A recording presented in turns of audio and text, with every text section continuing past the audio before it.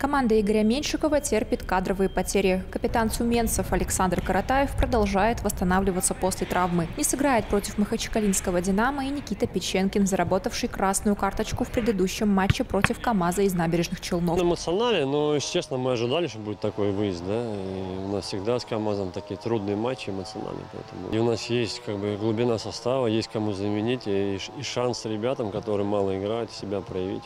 Зато состав черно-белых вновь пополнит Никита Касаткин. 26-летний полузащитник еще летом играл в чемпионском составе тюменцев, но после завершения сезона отправился в Нижнекамский нефтехимик. Там провел всего три неполных матча и вернулся в Тюмень. Правда, на правах аренды. Это обоюдное решение. Во-первых, э, если честно, мы не хотели его отпускать, но он принял такое решение, да. Но у нас в прошлом году был лидером, и как бы, все равно наш, наш парень, да, он как-то мы с ним вжились, вжились так как-то вместе, поэтому он там, к сожалению, мало играл.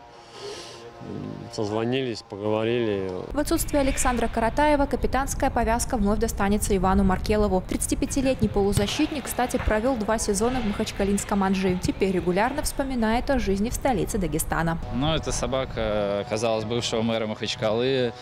Он там сам где-то был там в бегах скрывался. И так получилось, что эта собака оказалась у нас. И вот у меня сегодня супруга как раз с ней приедет сюда. И вот она с нами, такой талисман махачкалинский.